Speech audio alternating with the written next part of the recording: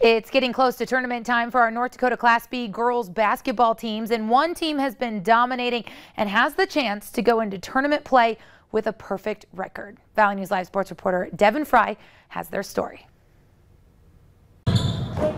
With the region championship tournaments for Class B basketball set to start at the end of the week, one team won't be playing in round one. The Central Cass girls have earned a first round bye thanks to their undefeated regular season. The Squirrels have been rolling this year as they sit at 19 and 0. The girls have bought in so well and you know they've just taken everything and ran with it. And we're excited to get to the end of the season and tournament time and, and to keep going and, and not you know, not think that the season's over or we're complete. Like, no, we want to finish what we've started.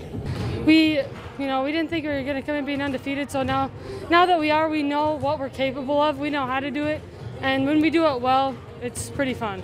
The Squirrels have been impressive this year to say the least. Through their 19 wins, they've put up some unbelievable scores, including 61 to 19, 55 to 18, 77 to 21, and 71 to 17 victories. Contrary to what you normally see at the high school level, the team told us that the reason for their dominance is actually their absence of one star player. We don't really have one girl that necessarily really sticks out and is our leading scorer a lot. We all kind of just chip in, and then that's how we end up being so successful putting the team first is has just been amazing because that's not hard. That's hard for anybody to do. You know, no matter how old you are, and the girls have just done an amazing job with that.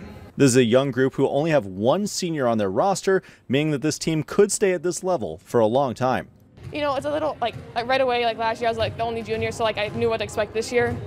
But like, there's no one else like I'd rather play with on this team, so they're kind of like my family.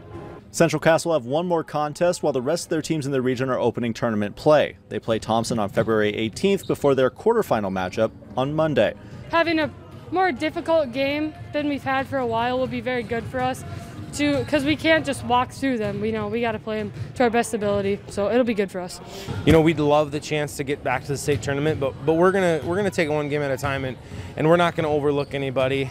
Reporting from Casselton, Devin Fry, Valley News Live Sports. The lower seeded teams in Region 1 will begin tournament play with their first round matchups tomorrow. Central Cass will play either Hankinson or Tri State in their quarterfinal matchup.